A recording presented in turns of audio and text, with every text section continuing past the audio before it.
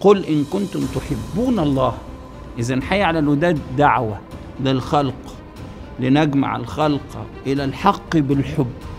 الصوفي ده إنسان وصل إلى الله. يقول تنازع الناس في الصوفي واختلفوا. جهلا وظنوه منسوبا إلى الصوفي. فهل أنت صوفي؟ أتمنى أن يخلع الله سبحانه وتعالى هذه الخلعة علينا ونتحقق بوصفها لأن التصوف هو مقام. فيبقى هنا عرفت التصوف تعريف جميل. بسم الله الرحمن الرحيم. اللهم صل وسلم وبارك على سيدنا ومولانا محمد النبي الأمي الكريم وعلى آله وصحبه وسلم.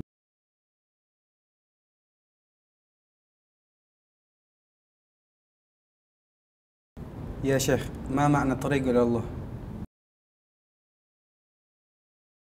هذا سؤال إحنا كل يوم بنطلبه من ربنا في الخمس صلوات.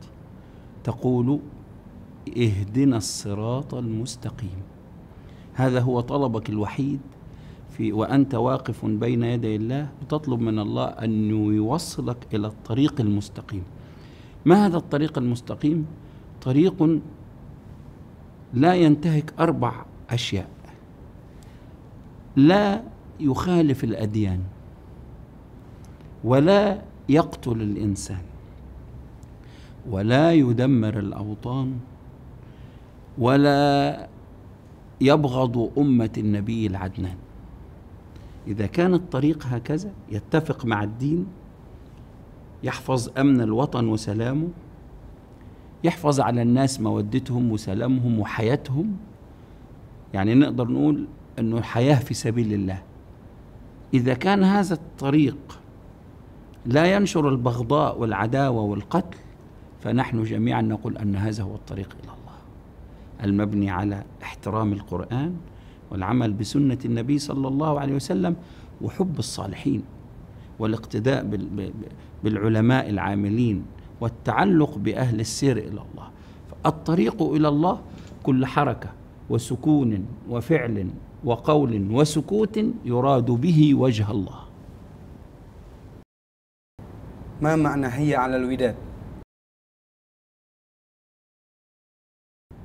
حي على الوداد نداء. أطلقناه لنجمع الخلق للحق بالحب عشان ننادي الناس تحب.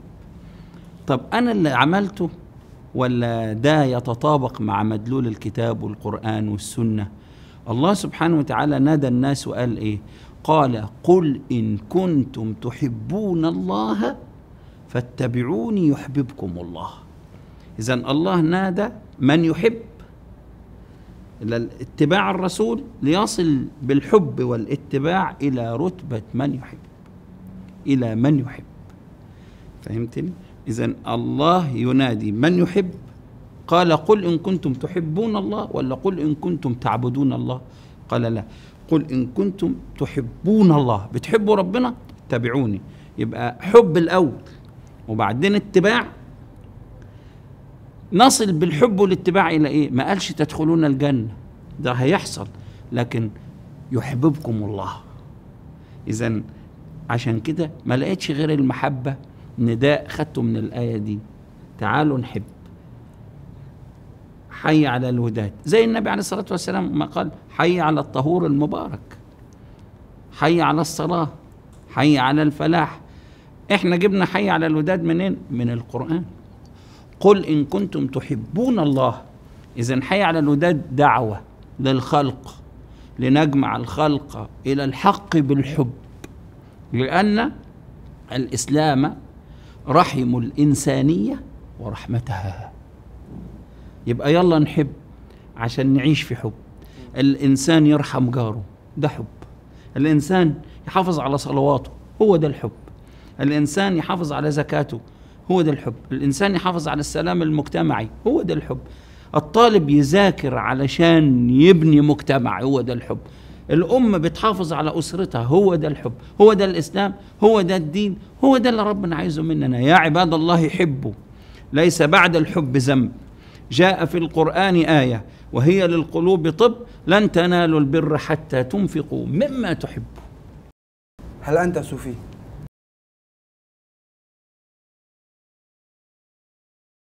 والله كلمة هل أنت صوفي هذا شرف لا أدعيه.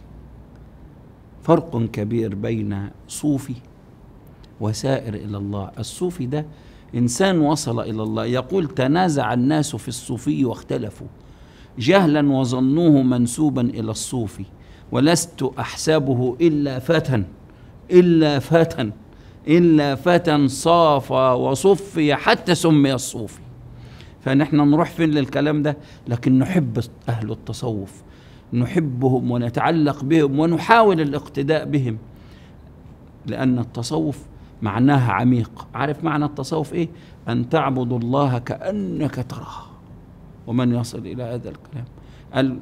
فإن لم تكن تراه فإنه يراك. إما أن تكون في مقام المراقبة أو في مقام المشاهدة. إحنا لسه ماشيين مرة بنعمل ذنوب ومرة بننصر لكن بنحبهم. عسى أن الاتباع مع الحب يحمل السائر إلى دوائر ترفع السائر الحائر إلى رتبة المعية مع الواصل لأن المحب مع من أحب يوم القيامة. قال النبي صلى الله عليه وسلم للرجل لما جاءه يا رسول الله. أنا لا يعني قال للنبي صلى الله عليه وسلم قل لي في الإسلام شيئا لا أسأل عنه أحدا بعدك. قال قل آمنت بالله ثم استقم. ده هذا هو التصوف. وإحنا واحد تاني راح لسيدنا النبي عليه الصلاة والسلام قال أنا ليس عندي ما أخبرني عن الساعة. قال ماذا أعددت لها؟ قال ما أعددت لها كثير صلاة ولا كثير صيام غير أني أحب الله ورسوله. قال أنت بهذا الحب مع من أحببت يوم القيامة. سيدنا أنس فرح قال ليه فرح؟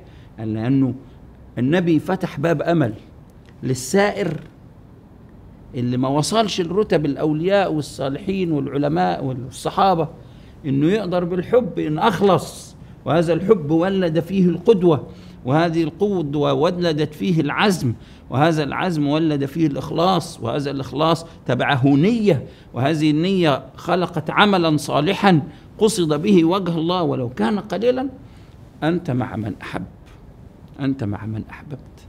هذه تجعل المحب مع المحبوب. ولنا في قصة أهل الكهف كلام.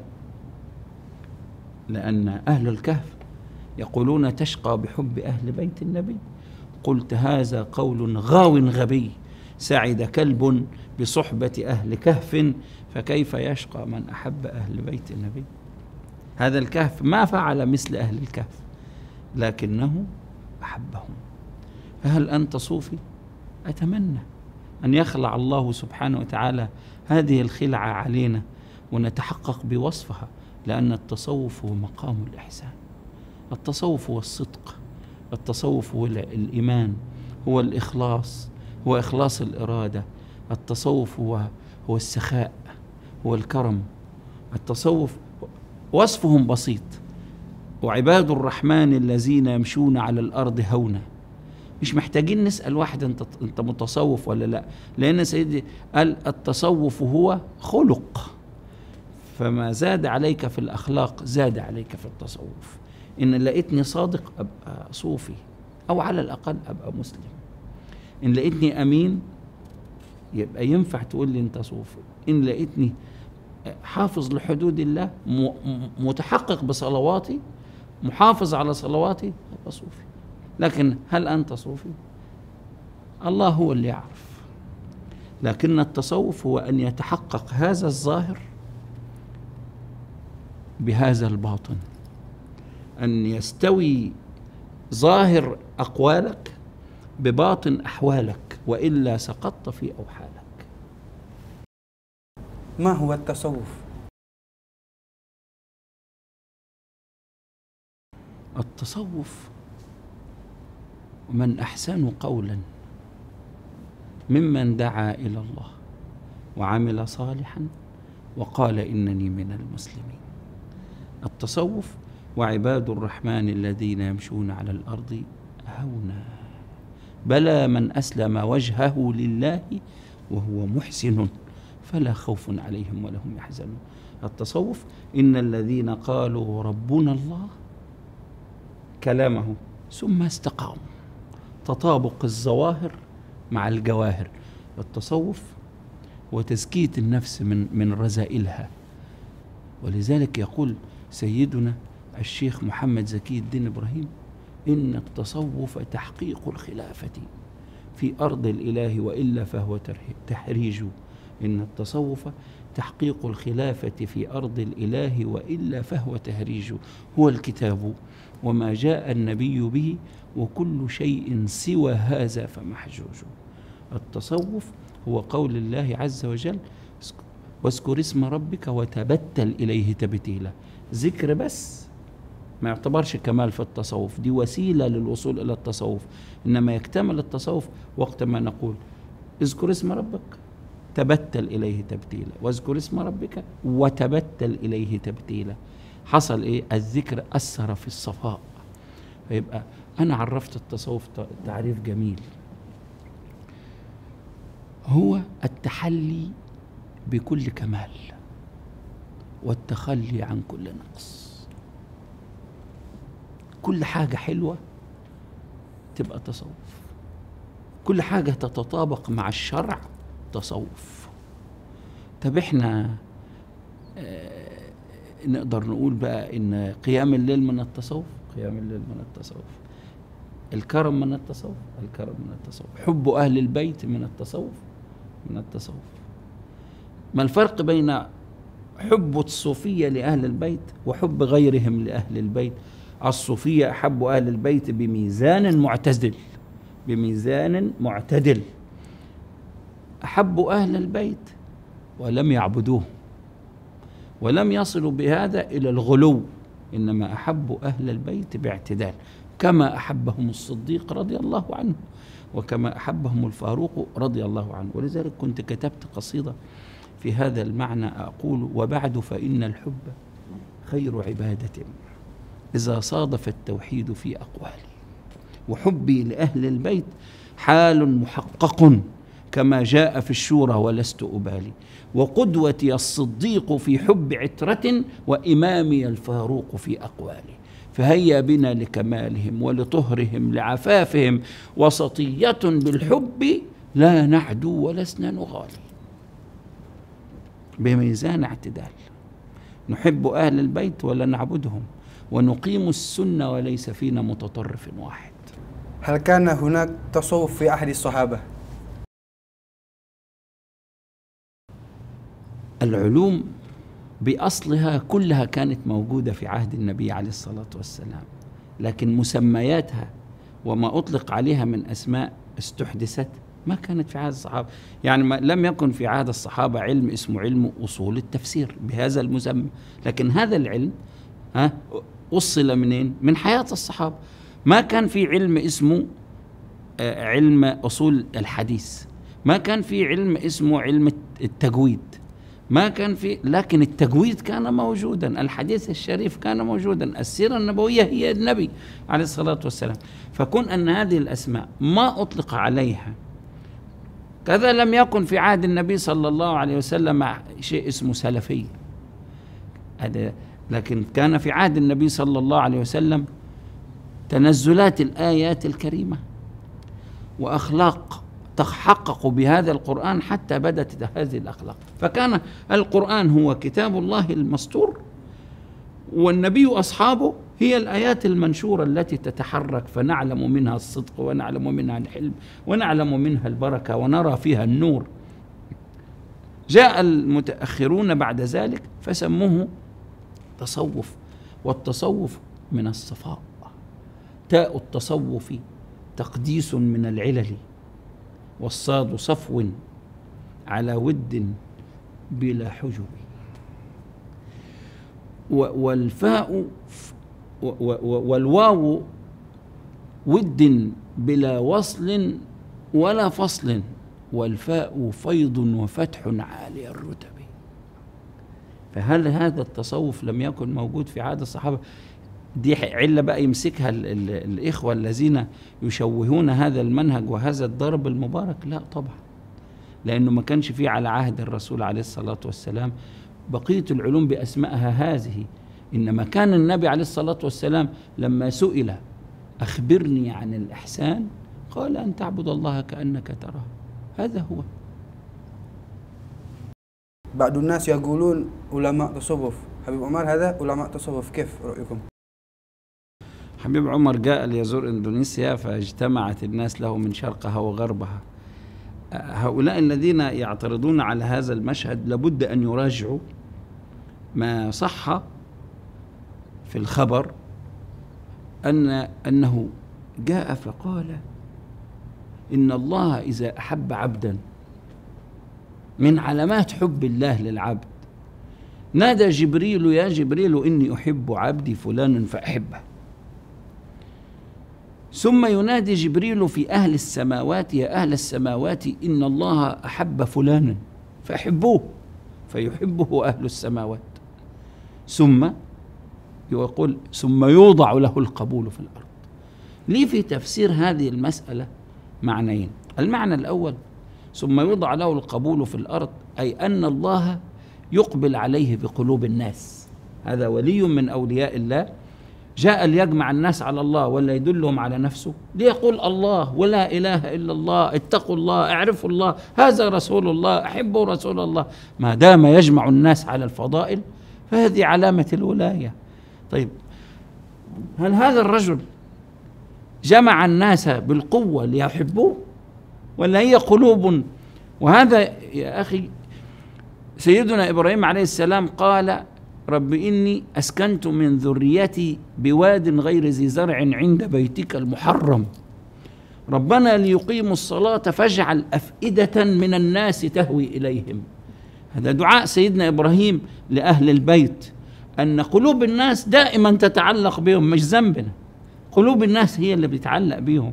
هل هذا الرجل دعا الناس لتحب هذا الحب؟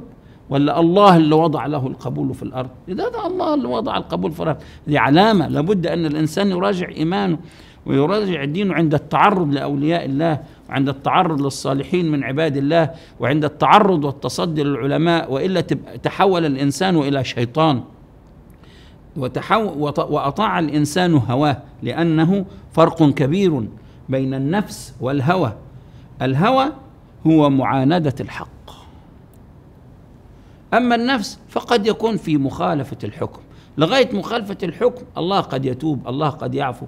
إنما معاندة الحق قد أخرجت إبليس رغم العبادة ورغم ما كان له من الملائكة في السماوات من بين الملائكة إلا أن إلا أن الغيرة والحقد الأعمى على على على مراد الله من خلق الله سيدنا آدم أخرجه ذلك الماء أخرجه هذا القلب الأسود أخرجته هذه الظلمانية من من معية الملائكة من الحياة في سبيل الله.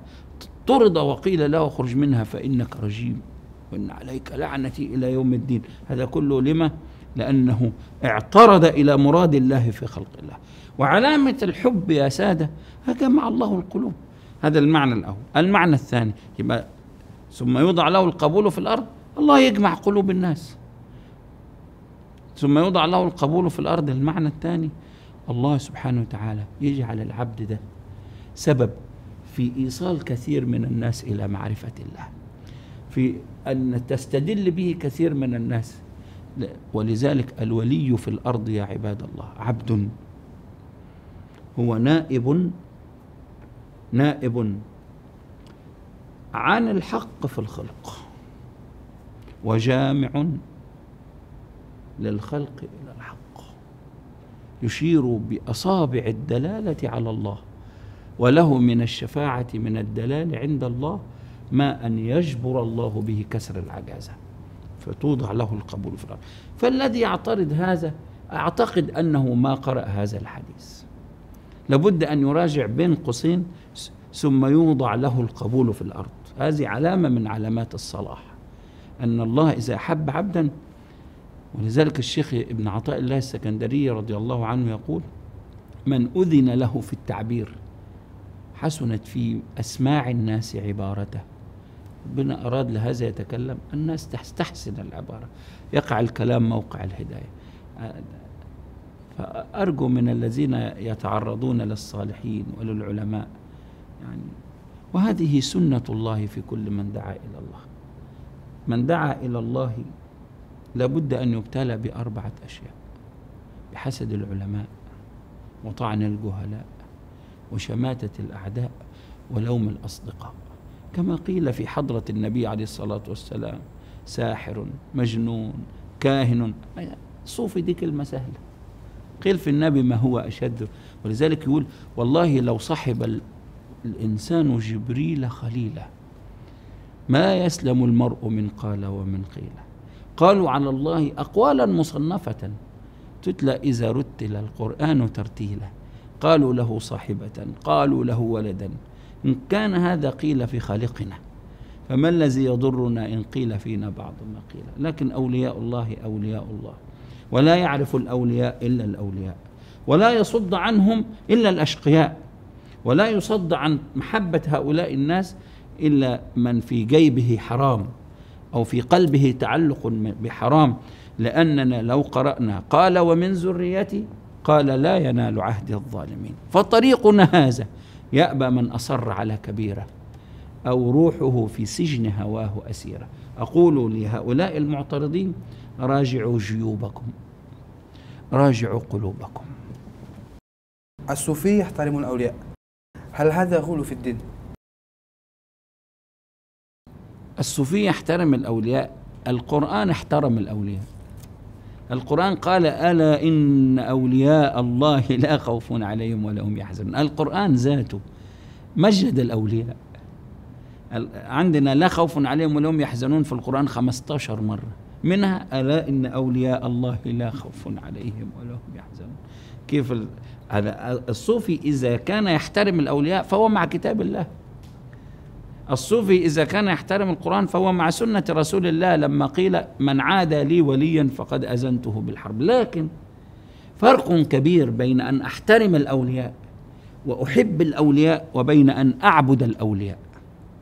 هذا والحمد لله ما حصل في أمتنا لأن هذه أمة محفوظة من الشرك. قال صلى الله عليه وسلم أنا لست أخشى عليكم أن تشركوا بعدي ففرق كبير بين أن نحترم الأولياء هذا أمر منصوص عليه في القرآن. هذا أمر حذر من المخالفة فيه. الحديث لما قال من عاد لي وليا فقد أذنته بالحرب. وإلا راجع معي في سورة الفجر. يا أيتها النفس المطمئنة ارجعي إلى ربك راضية مرضية فادخلي في عبادي وادخلي جنتي. في سورة الفجر قدم الدخول في عباد الله الصالحين قبل الجنة علامة على أن الدخول في سكة الصالحين وفي طريق ال- ال- العارفين مهد علامة دلالة من دلائل الجنة في عالم الدنيا من مؤشرات الدخول إلى الجنة. ألم يقل سيدنا سليمان عليه السلام وأدخلني برحمتك في عبادك الصالحين وأدخلني برحمتك إذا الدخول في في كنف هؤلاء بالاتباع والاقتداء والحب ها؟ ضرب من ضروب العناية. نظرة من نظرات العطف الإلهي على الإنسان. وما جعلت الأولياء إلا للاقتداء والمحبة. إذا اقتديت به وسلكت وصلت. وإن عجزت أحبوك فوصلت.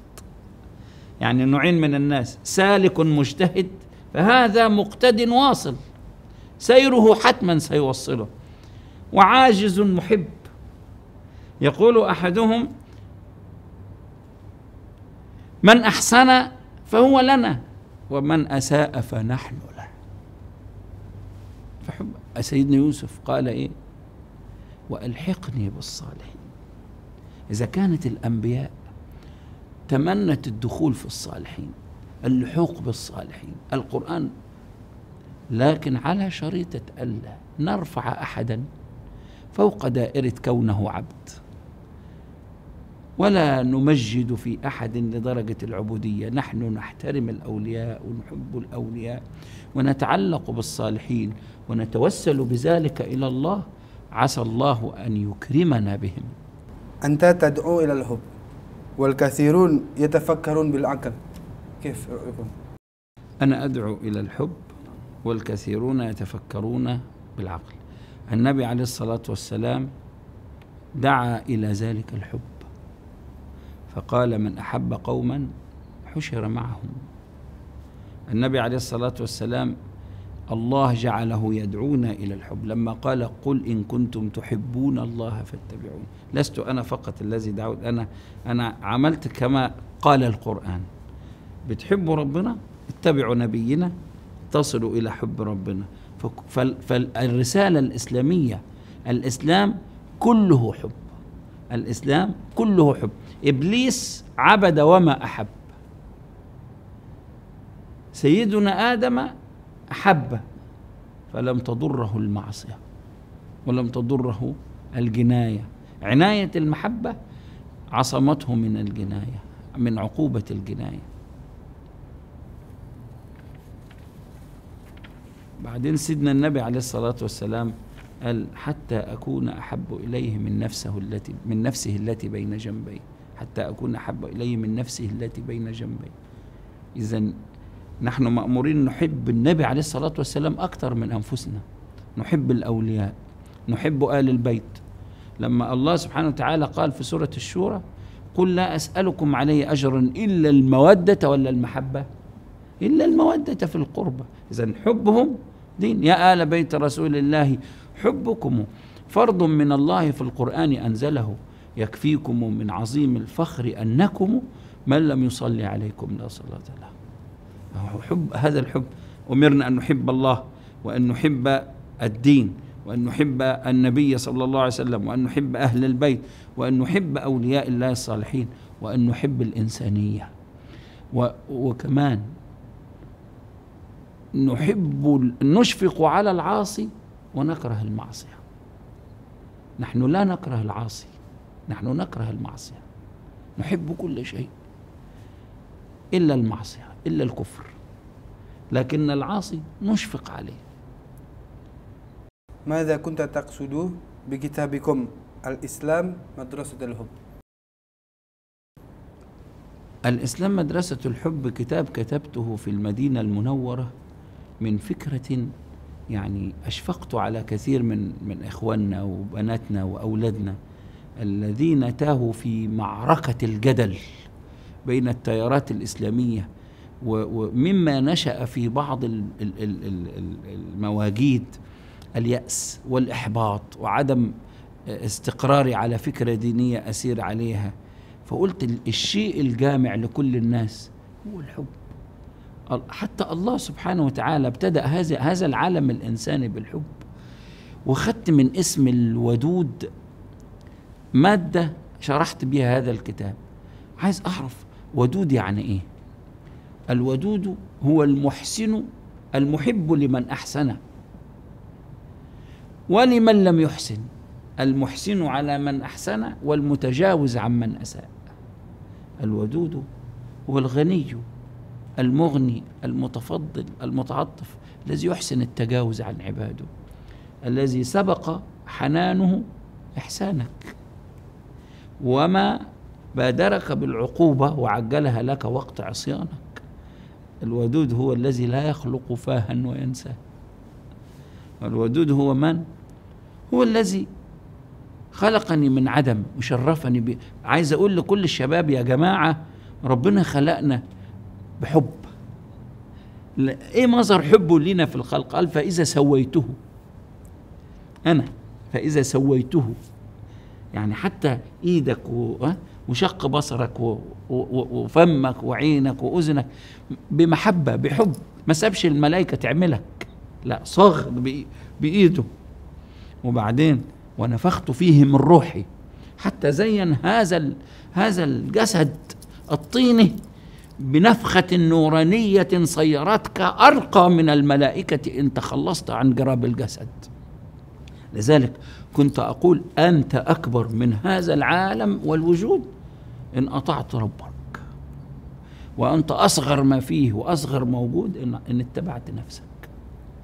فأنت من حيث ونفخت فيه من روحي أكبر من هذا العالم قدرا. إنما لو وكلت إلى جسدك واتبعت شهواتك أنت أقل حاجة هنا. بقدر ما تعظم أمر الله يكون وزنك عند الله وبقدر ما تعصى الله تهون على الله. لذلك هناك أناس أقول هانوا على الله فعصوه ولو عزوا عليه ما تركه. فالله من مظاهر حبه لينا. عايز أقول للشباب اللي بينتحر ده رب اسمع معايا كده ربنا بيقول يا ابن آدم يا ابن آدم إنك ما دعوتني ورجوتني. غفرت لك على ما كان منك ولا أبالي. يا ابن آدم لو بلغت ذنوبك عنان السماء ثم استغفرتني. غفرت لك على ما كان منك ولا أبالي. يا ابن آدم لو جئتني شوف وزن الكرة الأرضية. لو جئتني بقراب الأرض خطايا. بقرابها يعني قد الأرض الكوكب ده مين يقول لنا وزنه قد إيه؟ لو جئتني بقراب الأرض خطايا. ثم لقيتني. لا تشرك بي شيئا. مجرد انبعاث نور التوحيد تمكن قلبك من التوحيد. مجرد لحظة مجلس جلست ودرس علم لحظة خشعت فيها كلمة قلتها لله في مرة في عمرك. ثم لقيتني. لا تشرك بي شيئا. لأتيتك بقرابها مغفرة هذا الكتاب عملته كده على هذا النسق علشان نقول للناس ما تخافوش. الدين مش زي بعض الناس ما كانت مصوراه. كله نار عذاب ميزان حساب في شفاعة في رحمة في تجاوز. هذه الآيات اللي نزلت تتوعد الكافرين. هذا صعب تطبقها على على أهل لا إله إلا الله. على الوجوه اللي سجدت والقلوب اللي خشعت والأبدان اللي رقت. يا عباد الله لو تعلمون غدا ما يت... ما ي... القيامة القيامة القيامة. كنت أسمع الحبيب عمر يقول القيامة محتفل بمحمد صلى الله عليه وسلم. القيامة يوم القيامة يوم فرح المؤمنين. القيامة من مسمياتها من أسماء. لو قلت الواحد عرف لي يوم القيامة. ماذا يقول؟ إذا تعلمنا في مدرسة الموت هيقول ويوم الحشر يوم الفضائح يوم النار. يوم أنا أقول يوم لا يخزي الله النبي والذين آمنوا يوم القيامة تعرف عندنا؟ يوم لا يخزي يوم ما يكسفناش. اليوم ده اليوم ده اسمه يوم لا يخزي الله النبي والذين آمنوا معه. اليوم ده هذا هو كان مدلول هذا الكتاب وأردت به أن أن أن أسوق الأمل في قلوب الشباب ليقبلوا على المربيين العارفين أهل السلوك وأهل المعرفة بالله لأن العالم العالم يدلك على العبادة والعارف يدلك على المعبود. نتشرف بحضوركم في نبويتي فيه. يا شيخ. أسأل الله العظيم رب العرش الكريم أن يحفظ هذه القناة الإرث النبوي القائمين عليها والرابطة العلوية وكل قلبها علوي سيدنا الحبيب عمر وكل أولادهم وأحبابهم وطلابهم وينفعنا بأنوارهم وإسرارهم ومعانيهم. ويعني أسأل الله أن يديم النفع بهذه القناة يعني في كل ربوع الدنيا وينشر بها الإسلام والوسطية والمحبة ويسلك بنا مسالك أهل الله ويعرف بنا الناس على طريق أهل الله واجعلنا ممن يقولون ويعملون سواء. ولا يجعل أقوالنا تخالف أحوالنا ولا تخالف بواطننا. رب نسألك يا رب كمال الظاهر والباطن. يا رب نسألك صلاحنا وصلاح هذه الأمة. نسألك فرجا لنا وفرجا لهذه الأمة. نسألك مغفرة لنا وللأمة جميعا يا رب. اللهم احفظنا من بين أيدينا ومن خلفنا عن أيماننا وعن شمائلنا. اللهم لا تبتلينا بعلة ولا تجعلنا في غفلة ولا تأخذنا على غرة ولا تكتب علينا زلة ولا مزلة. اللهم لا تنسنا ذكرك ولا تولنا غيرك. ولا تؤمنا مكرك ولا تكشف عنا سترك. يا أرحم الراحمين يا أرحم الراحمين يا أرحم الراحمين. صلى الله على سيدنا محمد.